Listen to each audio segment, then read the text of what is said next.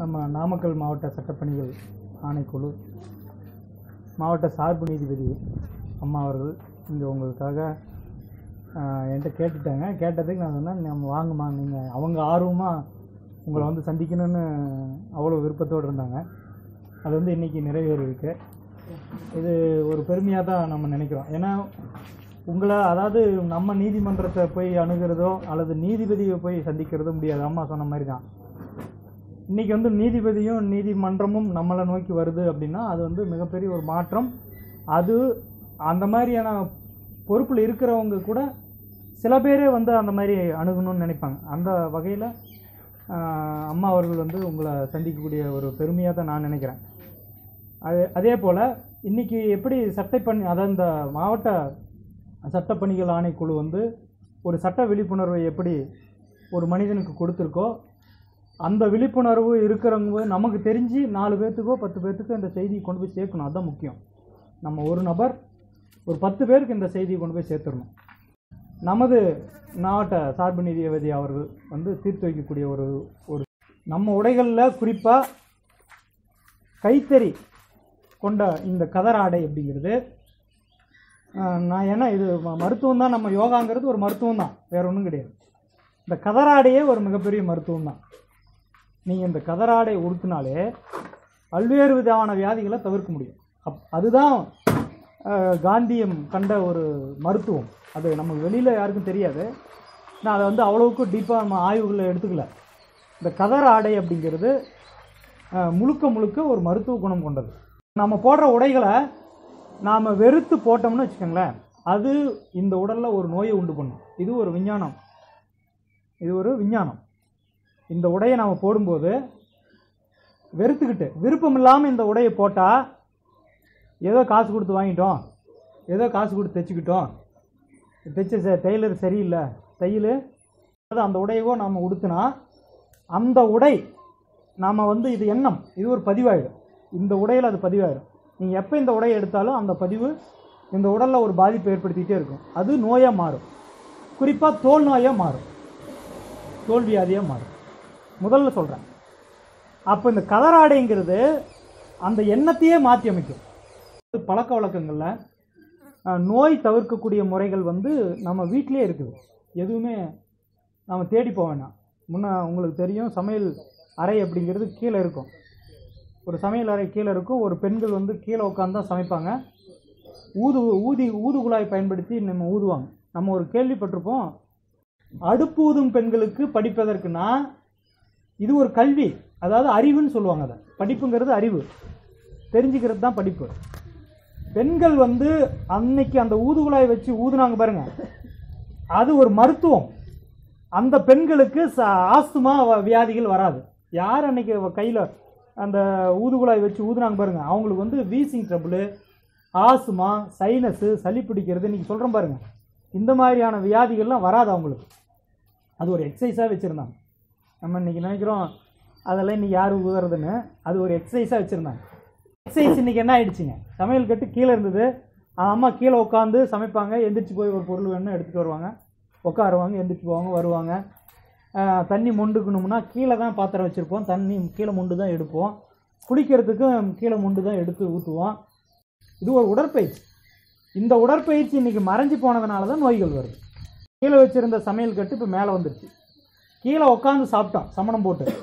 கீழே எப்போ நம்ம சமணம் போட்டு உட்காந்து சாப்பிட்றோமோ அப்போவே நமக்கு வந்து ஆண் பெண் இருபாலருக்கும் கொலஸ்ட்ரால் ஃபார்ம் ஆகாது. கீழே உட்காந்து சாப்பிட்டாலே கொழுப்பு உரு- உற்பத்தி ஆகாது. ஏன் சொல்கிறேன்னா நீங்கள் கீழே உட்காந்து சாப்பிட்டீங்கன்னா அரை வயிறுக்கு மேலே சாப்பாடு சாப்பிட முடியாது. கால் வயிறு தண்ணி குடிச்சிக்கும். இவ்வளோ தான் பிடிக்கும். மீதி கால் வயிறு எம்டியாக தான் விட முடியும். அப்படி சாப்பிட்டாலே உங்களுக்கு திருப்தி ஆகிடும் சாப்பிட்டது ஜீரணம் ஆகிடும் அதே மாதிரி முழுசாக சாப்பிட்ட மாதிரி திருப்தி வந்துடும் அப்போ. ஆனால் இப்போ நாம் என்ன பண்ணிட்டோம்னா கீழே வச்சுருந்த சமையல் கட்டையும் மேலே கொண்டு வந்துட்டோம். கீழே உட்காந்து சாப்பிட்டதையும் டைனிங் டேபிள் கொண்டு வந்துட்டோம். டைனிங் டேபிள்னு வந்ததும் போய் இப்போ நின்றுக்கிட்டு சாப்பிட்ட பஃபே சிஸ்டம்னு வந்துடுச்சு நின்றுட்டு சாப்பிட்றது. பஃபே அதாவது டைனிங் டேபிளில் நீங்கள் உட்காந்து சாப்பிடும்போது முக்கால் வயிறு சாப்பிட முடியும். கால் வயிறு தண்ணி குடிக்க முடியும். கீழே உட்காந்து சாப்பிடும்போது அரை வயிறு தான் சாப்பிட முடியும். கால் வயிறு தான் தண்ணி குடிக்க முடியும். அதுக்கு மேலே நீங்கள் விரும்பினாலும் முயற்சி பண்ணாலும் சாப்பிட முடியாது. டைனிங் டேபிளில் முக்கால் வயிறு தான் சாப்பிட முடியும். தண்ணி கால் வயிறு தான் குடிக்க முடியும். இதுக்கு மேலே நீங்கள் முயற்சி பண்ணாலும் சாப்பிட முடியாது. ஆனால் நின்றுட்டு சாப்பிட்டீங்கன்னா முழுசாக சாப்பிட்றதே முடியும். தண்ணி குடிக்க முடியாது. முழு வயிறு நிரப்பிடலாம். தண்ணியும் குடிக்க முடியாது. அப்படியே குடித்தாலும் முழுசாக எங்கே கழுத்து வரலும் சாப்பிட்டுக்கலாம். நின்று சாப்பிட்டீங்கன்னா கழுத்து வரலும் சாப்பிடலாம் கல்யாணம் பண்ண பூரா அதான். ஒன்றா எல்லா கல்யாணம் இப்போ இன்னைக்கு பாருங்க. இது ஒரு வகை. இது இருந்தாலும் இப்படி நம்ம உணவு முறையை மாற்றிட்டோம் உணவு பழக்கத்தையும் மாற்றிட்டோம் இப்போ கீழே இருந்த சமையல் கட்டு மேலே வந்த மாதிரி சமையல் சாப்பிட்றது மேலே வந்துருச்சு. பெண்கள் கீழே உட்காந்து சமைச்ச போது பெண்களுக்கு கருப்பை சம்மந்தப்பட்ட பாதிப்புகளே வராது. கீழே உட்காந்து சாப்பிட்டப்போ அவங்களுக்கு கருப்பை சம்மந்தப்பட்ட பாதிப்புகளே வராது.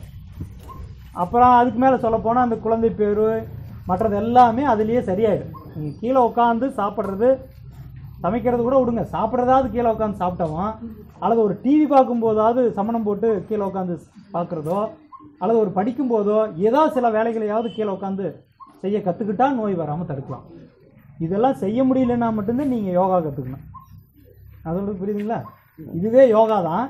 இது யாருக்கெல்லாம் செய்ய முடியலையோ அவங்க தான் யோகா கற்றுக்கணும் அதனால் ஆரோக்கியம் அப்படிங்கிறது நம்ம அன்றாட செய்கிற வேலைகள்லேயே நமக்கு எல்லாமே இருக்குது இன்றைக்கி கூட்டுறது வந்து உங்களுக்கு தெரியும் தொடப்பம் சின்னதாக இருக்கும் குமிஞ்சு கூட்டுவாங்க. இன்றைக்கி தொடப்பம் வந்து லென்த்தாக இருக்குது இழுத்து விட்டுக்கலாம். நீங்கள் நின்றுக்கிட்டு தான் கூட்டணும். குமிஞ்சு கூட்டுறதெல்லாம் கிடையாது. குப்பை ஆள்றதும் சின்னதாக இருக்கும். அதை குமிஞ்சு வச்சு அதை தள்ளி விட்டு கூட்டுவாங்க. இன்றைக்கி குமிக்கிறதுக்கு அதுக்கும் வேலை கிடையாது. அது குப்பை அள்ளுறதுக்கும் அதுக்கும் ஒரு குச்சி வச்சுருக்காங்க. அப்படி நின்றுட்டு தள்ளுறோம். கொட்டுறதுக்காவது குமிகிறாங்கன்னா அதுவும் கிடையாது. அதுக்கு காலை வச்சு நிறுத்துனீங்கன்னா அது வாயை திறந்து நம்ம அப்படியே ஒன்று கொட்டிடலாம். பார்க்கணும் இல்லைங்க மிதிச்சா போதும். அது வாயை பிறந்துடும் அப்படியே ஒன்று கொட்டி போடலாம் அப்புறம் எங்கே நம்ம உடல் உழைப்பு இருக்குது அசைவே கிடையாது. முன்னாடி வீடு துடைக்கிறது கீழே உட்காந்து துடைச்சாங்க இல்லையா? அதுக்கு இப்போ மாஃபு மாப் அப்படின்னு சொல்லி அது அதை கொண்டாந்து நின்றுட்டு தான் எதுவுமே நம்ம உடல் உழைப்பே இல்லைங்க. அப்போ உடல் உழைப்பு இல்லாத இந்த கருவிகள் எல்லாமே நம்ம உடல் உழைப்பில் உடலுக்குள்ளே இருக்கிற கருவிகளை செயல்படாமல் வச்சிருது. இப்போ இதெல்லாம் செஞ்சீங்கன்னா கணையம் வேலை செய்யும் கண்ணீரல் மண்ணீரல் நல்லா வேலை செய்யும் இருதயம் நல்லா வேலை செய்யும் நுரையீரல் வேலை செய்யும் கண் கால் மூக்குன்னு எல்லாமே வேலை செய்யும். இன்றைக்கி அதையெல்லாம் தவிர்த்ததுனால நம்ம நோய்வாய்ப்பட்டிருக்கோம் குறிப்பாக அதிகமாக நீங்கள் செய்திகளில் பார்த்துருப்பீங்க. அதிக நேரம் டிவி பார்த்தா யாரெல்லாம் அதிக நேரம் டிவி பார்க்குறாங்களோ அவங்களுக்கு சக்கரை நோய் வரும். இலவசமாக. அதிகமாக டிவி பார்த்தா சக்கரை நோய் வரும். அதுவும் இலவசமாக வரும். இந்த இலவசமாக வந்த நோய் வந்து நான் உதாரணம் சொல்கிறேன் ஏன்னா நீங்கள் பார்த்து இப்போ இன்றைக்கி அது இருக்கிறது அதிகம் தான். இந்த வியாதிகளை நாம் தவிர்க்கிறதுக்கான ஒரு வழி என்னென்னா டிவி மட்டும் இல்லைங்க இரவு நேரங்களில் இந்த மின்சாரத்தை பயன்படுத்தி பயன்படுத்தக்கூடிய ஸ்க்ரீன் அதாவது லேப்டாப்பு மொபைல் ஃபோனு டிவி இந்த மாதிரி பொருள்களை அதிகமாக பகல் நேரத்தில் பயன்படுத்தினா பகல் நேரத்தில் நீங்கள் காலையிலேருந்து சாயந்தரம் டிவி பார்த்தாலும் உங்களுக்கு பாதிப்பு இல்லை. நைட்டில் ஒரு மணி நேரத்துக்கு மேலே டிவி பார்த்தீங்கன்னா பாதிக்கும் நீங்கள் வேணால் டெஸ்ட் பண்ணி பாருங்கள் சோர்வே வராதும் காலையிலேருந்து சாயந்தரம் வரலும் டிவி பார்த்தீங்கன்னா. அந்த நைட்டில் ஒரு மணி நேரம் பார்த்தீங்கன்னா டயர்டாயிருங்க அப்போ அந்த மாதிரி டிவி பார்க்கும்போது கண்கள் அந்த நம்ம கண்ணில் இருக்கிற எனர்ஜிலாம் போயிடும். கண்ணில் இருக்கிற ஆற்றல்லாம் போயிடுச்சுன்னா அதை அடுத்து எங்கேருந்து ஆற்றலை எடுக்கணும்னா இதுக்கு சப்ளை பண்ணுறதெல்லாம் கணையத்திலிருந்து வரும். எக்ஸ்ட்ரா அதுக்கப்புறம். கண்ணில் இருக்கிறது எல்லாமே முடிஞ்சு போச்சு. இப்போ இங்கே அடுத்தது எங்கேருந்து எடுக்கும்? கணையத்திலிருந்து எடுக்கணும். அப்போ கணையத்திலிருந்து எடுத்தால் கணையத்து கணைய வேலை செய்கிறதுக்கு அங்கே ச சரி அதாவது சார்ஜ் வேணும் இல்லையா? அங்கே சார்ஜ் இருக்காது. கணைய வேலை செய்கிறதுக்கு சார்ஜ் இருக்காது. இப்போ கணைய வேலையை செய்கிறதுக்கு சார்ஜ் இல்லைன்ன உடனே இப்போ ஆட்டோமேட்டிக்காக கணையும் கெட்டு போயிடும். கணையும் கெட்டு போனால் இன்சுலின் சுரக்காது. இன்சுலின் சுரக்கலைன்னா சர்க்கரை வியாதி வந்துடும். அப்போ கண்ணால் கணையம் கெட்டு போச்சா? சர்க்கரை வியாதி வந்தவங்களுக்கு பின்னாடி கண்ணும் கெட்டு போயிடும். ஏன்னா ரெண்டும் ஒரே லிங்க்கு நரம்பு. இதையெல்லாம் தவிர்க்கிறதுக்கு சில வழிகள் உண்டு. யோகா பயிற்சிகள் மூலமாக நம்ம அடுத்த வகையில் வாய்ப்பு கிடைக்கும்போது சந்திப்போம் இது ஒரு ஒரு அறிமுகம் ஒரு விழிப்புணர்வு. வாய்ப்புக்கு நன்றி நன்றி.